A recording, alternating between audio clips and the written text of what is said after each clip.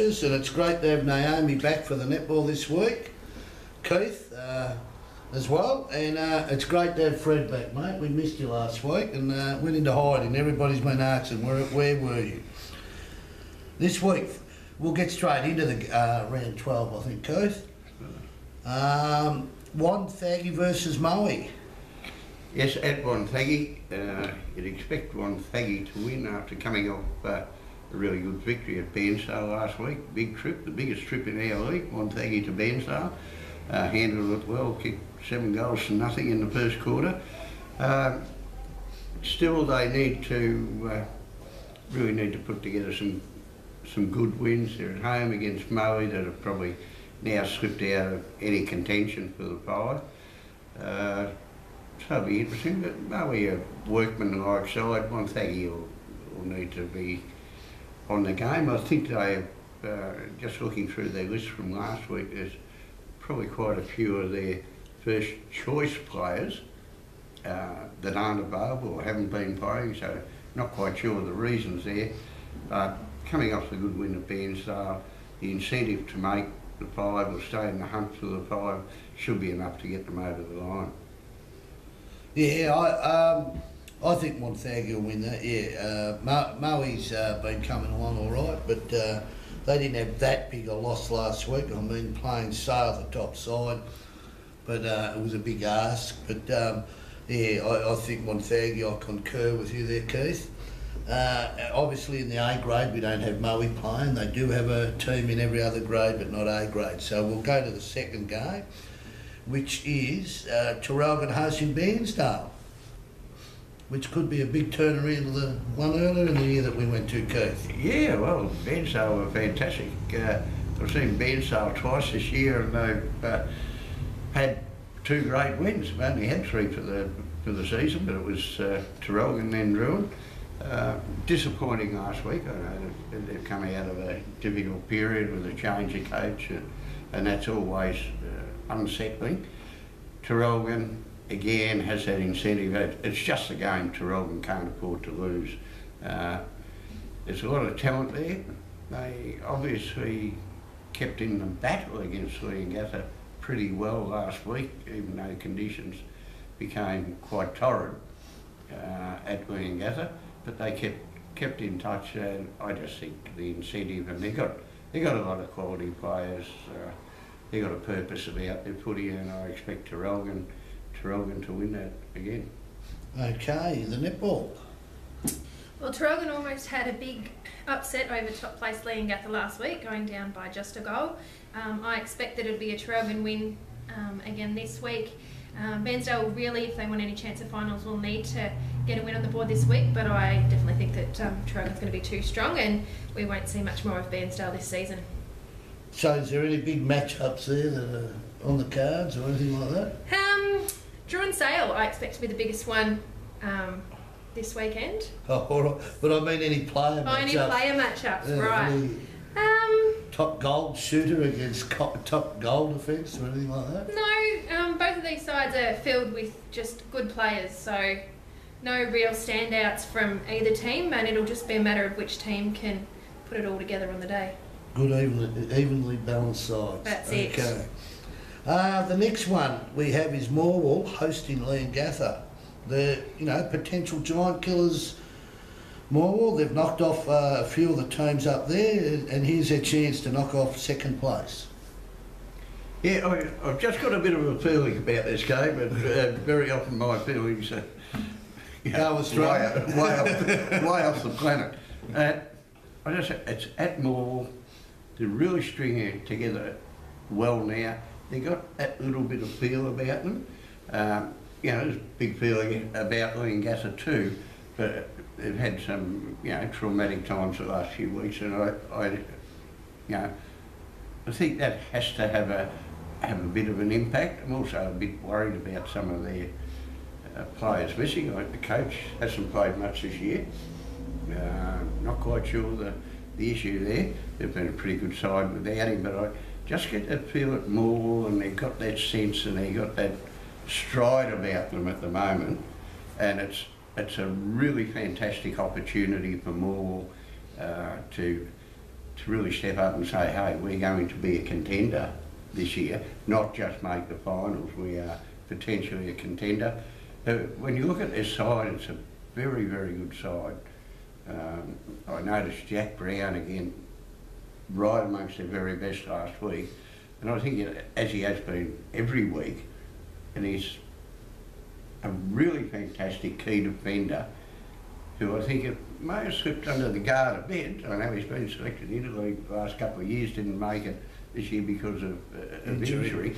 But uh, he's, you know, and having watched him this year, he's just a very, very good player. Sets up their defence. They've got uh, uh, Funky Duncan down there as well, who's another general, and the whole side looks good. And then you get the, the quality around the midfield of an Adam Bailey, uh, Michaelides. Michael Ades, Robert Michaelides, um, uh, the captain Suda, uh, Bannon Johnson who sneaks in everywhere, and these couple of young lads who've come in from Mid Gippsland and the Bailey boys.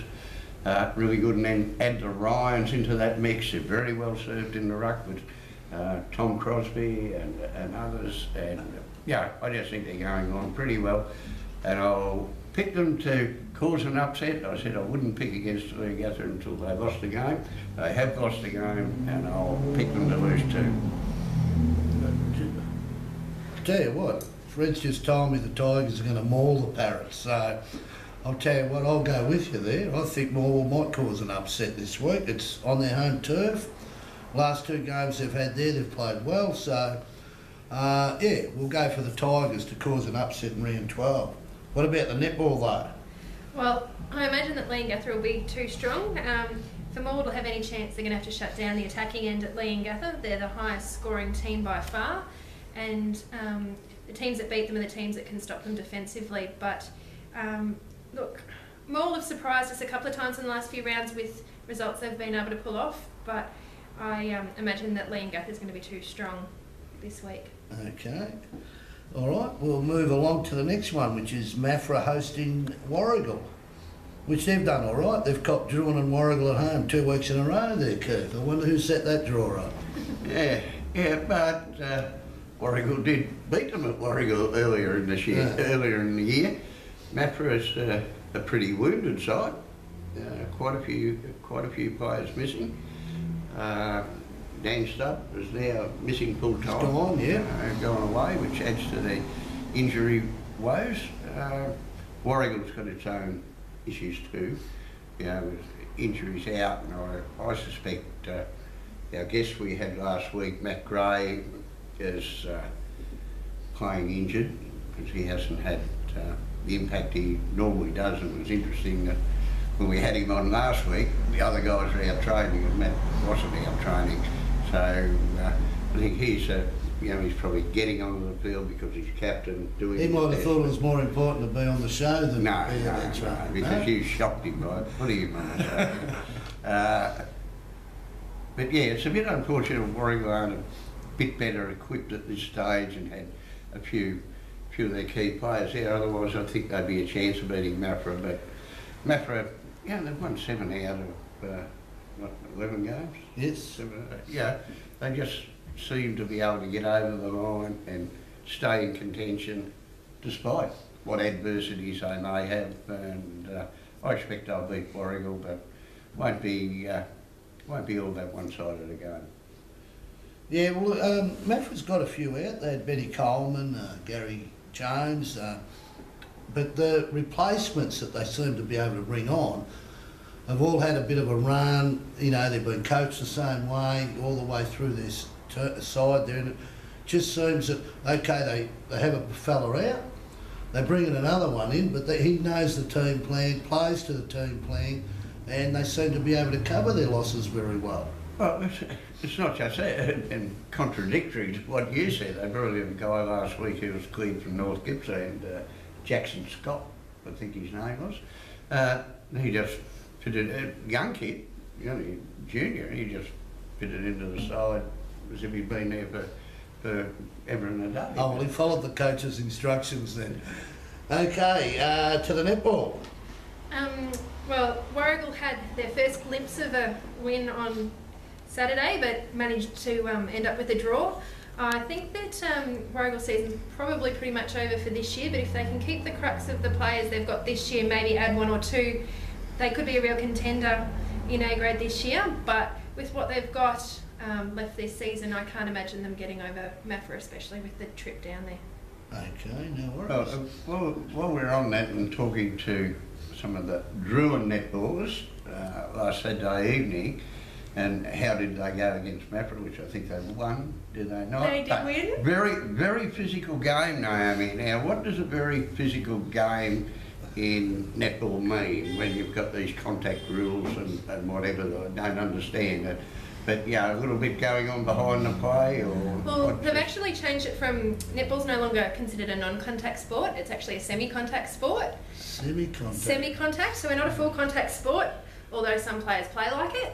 Um, but it does mean a little bit of body on body. Um, not so much necessarily behind the play, but you're allowed to contest a lot more um, on a netball court these days. So um, the whistle doesn't go as much, and you're allowed to actually tussle for the ball, and the umpire only steps in when they actually feel like one player's done necessarily the wrong thing. So you know, we're working towards becoming a football.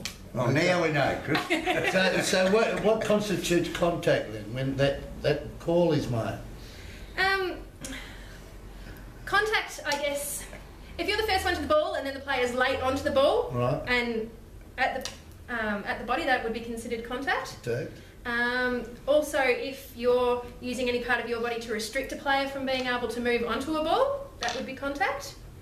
Um, if they've got the ball and you whack it out of their hands, contact. Contact, okay. No Well, worries. Semi-contact is if you half bump into them. Fair enough, okay. But we wouldn't want them playing half-hearted, would we? Okay, we to the last one. Um, oh, while we're on that though, Keith, uh, we had a big night at Maffra last Saturday. They had their reunion of their 2002 seniors and their reserves 2001 and 2, and uh, uh, most of the Maffra blokes were very appreciative of, the, of a reporter being there, and you were in fine form with them. Well, uh, you might have had a big night. I just had a quiet night, getting around chatting to a, a few very nice people at, at Maffra, lovely people, and I certainly wish Joe May a speedy recovery. Uh, but uh, good night, and because that was a massive premiership for Maffra. 54 years without a flag, and they jagged that one uh, back in 2002, which started you know, a magnificent era for them. So there would have been a lot. That would have been their first uh, premiership reunion. So yeah, that was something foreign to them, and the first time they've ever done it. But they had a reasonably good crowd. The players certainly enjoyed themselves. Enjoyed themselves, and uh, a lot of the old timers were obviously enjoying it. But yeah, it was a very good night, and um, well done to the Maffra blokes. I think over the next. 10 years, they'll have a lot of 10 year uh, reunions for premierships. But anyway, we'll go on to the last game, which is Drouin hosting Sale up here at uh, Sinclair Street Oval. Sinclair Street the Pier Haven Homes Oval. It is actually On Sinclair Street. on Sinclair Street. Yeah, uh, yeah. Hard to tip against Sale, isn't it? Despite where your heart is. Uh, yeah, they've done everything right apart from that hiccup at Morwell, which I don't think anybody can really explain, except Morwell were probably better than Sale thought they were at the time. Um, but I don't think Sale will come to come to Drouin uh, not fully prepared and not knowing that uh, you know if they drop their guard a bit, Drouin are capable of beating them. And uh, yeah, I just think for Drouin to, to win the game, they'll have the incentive there. They've got to win this really to stay stay in touch. Um, but to uh, you know, the incentive will be there for Drouin, but they're just going to have to play at their best. They can't afford lapses that they've dropped into at various times. Over the past month, five weeks, they've dropped a couple of games that they should have won. Last week was one of those. Traralgon was probably another. Uh, but you know, I'm- looking forward to it, and I'm hoping it's a fully competitive game. But seen Sale a couple of times and they're great. And last time Drouin played them, uh, You know, Oh, took a- very good. It took a half back to kick out first two goals in the last quarter. So, Yeah, uh, uh, they've got a very good back line, forward line, terrific on ball. And I think the only thing that's going to stop them is, you know, traditionally when they come down this far, a lot of the players head off to Melbourne to have a night out. Uh, maybe hopefully if for they head off, if they off on Friday night, that'd be really good. But Yeah, they might, hopefully for Drouin they might be thinking about the night out instead of thinking of the business they've got to yeah, think. yeah, the other thing that might be a bit of an influence is, is the weather and the and the condition of the Drouin ground. Because if it is wet, it's certainly different conditions to to what Sale play on, be it at home or most other grounds in this league. So when it's a wet day coming up, do you, as the line marker, do you have to put in a heavier ju- uh, solution in, or do you, is it the same one, or what? Same solution. You're just going to do it more often. Sometimes you have to go out at half time in the seconds. Okay, all right. Uh, the netball, um, yeah, obviously Drouin and Sale. Drouin, oh gee, this will be an interesting one, won't it? It definitely will. Um, so, look, I'm a Drouin girl at heart, and I'm going to tip Drouin this week. I'm not going to um, go against them. Sale might be above them on the ladder, but Drouin is starting to come into some good form. Um, should have their whole team in this week. Um, everything going as planned, and I think that um, with their full side in, that they're going to be too strong for Sale. And um, if they do get a win this week, it could really change up um, the top of the ladder in A grade, and we might see um, You a real predicting a physical game, or just? I definitely predict- Semi-contact. Semi-contact. Oh, Semi-physical. contact. No, no, I do um, definitely think it'll be um, a, A physical physical game, game. Oh, and I think that um, yeah, players are going to have to really stand up if they want to um, walk away with the win. As long as there's no sling tackles, because they're illegal. Right, you Okay. just need to tell the umpires that. All right, no worries. Well, that's round 12. Thank you very much. Thanks, Fred. He's not talking to us tonight because we left him behind last week, so we'll make that up in the next few weeks, Fred. But thanks to Keith, Naomi, and uh, we'll see you all next week.